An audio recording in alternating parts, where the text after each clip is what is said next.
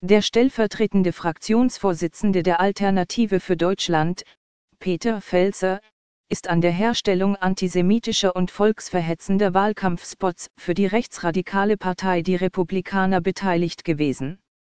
Das geht aus Dokumenten hervor, die der Frankfurter Allgemeinen Zeitung vorliegen. Unter anderem ging es in den Fernseh- und Hörfunkspots um scheinbar zu hohe Diäten für den Zentralrat der Juden und dessen angebliche Macht über die Regierung. Dem Bericht zufolge war die Produktionsfirma W.K.F. Kommunikation GmbH, deren Mitinhaber und Geschäftsführer Felser ist, in den frühen 2000ern mit mehreren Wahlspots für die Republikaner beauftragt. Felser war damals selbst Mitglied dieser Partei.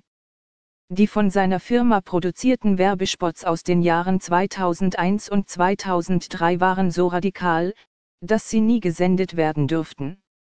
Sowohl der Hessische Rundfunk als auch der Sender Freies Berlin hatten die Werbespots wegen volksverhetzender Inhalte abgelehnt. In einem Beschluss begründete das Oberverwaltungsgericht Berlin, warum der Hessische Rundfunk das Wahlkampfvideo von 2001 ablehnen dürfte.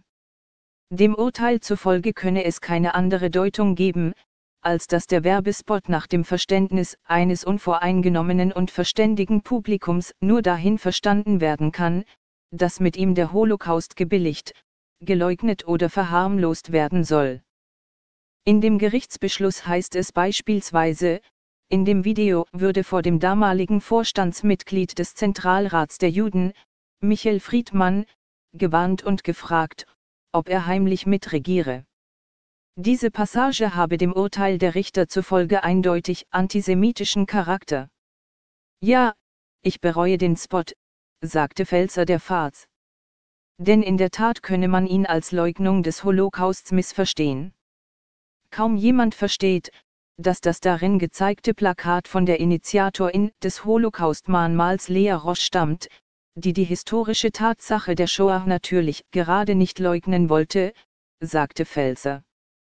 Die Herstellung solcher Auftragsproduktionen ginge nicht mit der Identifikation der Produktionsfirma mit den Kundeninhalten einher, teilte ein Sprecher der AfD im Auftrag Felsers mit.